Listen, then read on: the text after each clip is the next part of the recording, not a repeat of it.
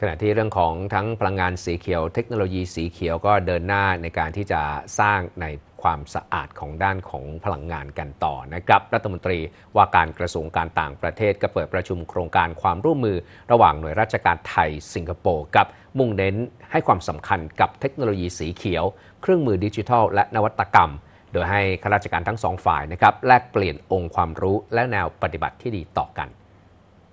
นายมาริศเสงี่ยมพงศ์รัฐมนตรีว่าการกระทรวงการต่างประเทศกับเป็นประธานเปิดการประชุมโครงการความร่วมมือ ระหว่างหน่วยราชการไทยสิงคโปร์หรือว่า Civil Service Exchange Program ครั้งที่ 14 หรือว่า CSEP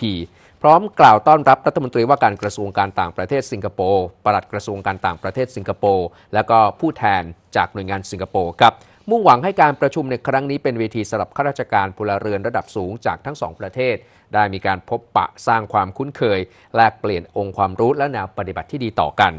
การประชุมครั้งนี้ก็สอดคล้องกับนโยบายของทั้งสองประเทศ ที่เน้นความสำคัญของการใช้เทคโนโลยีสีเขียว เครื่องมือดิจิทัล และนวัตกรรม ในการส่งเสริมการเติบโตทางเศรษฐกิจและสังคม โดยเฉพาะช่วงหลังการระบาดของโควิด -19 รัฐบาลไทยยืนยันครับให้ความสำคัญกับเศรษฐกิจสีเขียว พลังงานสีเขียว ผลักดันสู่การเป็นศูนย์กลางบริการด้านคาร์บอน และศูนย์กลางด้านการเงินสีเขียวของโลก ซึ่งการประชุมในครั้งนี้ก็จะแลกเปลี่ยนเรียนรู้จุดแข็งของสิงคโปร์ในด้านการใช้เครื่องมือทางดิจิทัล เพื่อสนับสนุนการเติบโตทางเศรษฐกิจ ส่งเสริมการเรียนรู้แนวปฏิบัติและแลกเปลี่ยนการพัฒนาทรัพยากรมนุษย์ที่มีสมรรถนะสูงในด้านดิจิทัล และทักษะสำหรับอาชีพในอนาคต